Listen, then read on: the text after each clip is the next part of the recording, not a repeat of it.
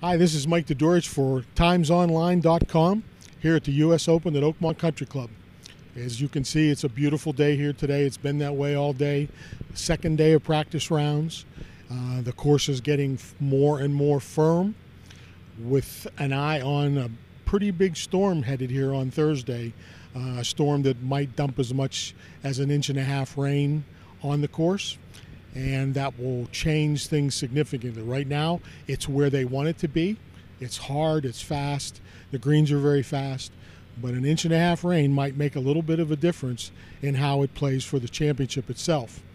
Uh, the highlights of today uh, in terms of players um, Jason Day, the world's number one player, admitted that he's never been as stressed out as he is today. He hasn't played a tournament round here yet. He's played the course a couple times, but he said just the idea of a U.S. Open at the hardest golf course that will probably ever host a U.S. Open has him totally stressed out. Here's what Justin Rose and Rory McIlroy had to say after their practice rounds today at Oakmont.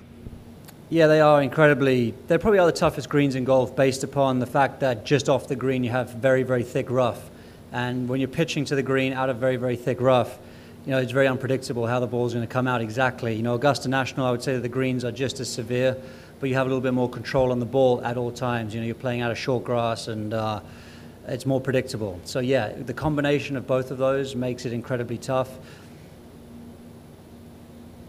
I think that there was talk of the Greens rolling 16 or something on Monday, uh, or Sunday, Monday, which is probably a test, you know, the Greens keepers and whatever, just trying to figure out how far they can push them and where they're at.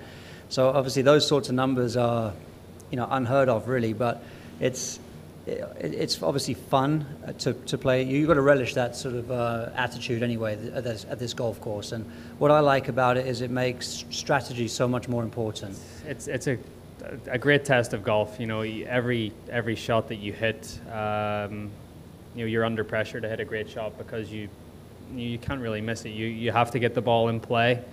Um, you know, you really need to you know put the ball in the fairway. That's a huge premium, and and, and when you and if you get your ball on the fairway, you just got to make sure that you leave yourself below the hole on the greens. Uh, That's it for today from Oakmont Country Club for TimesOnline.com. Stay tuned, and we'll bring you coverage each day as the tournament progresses through the weekend.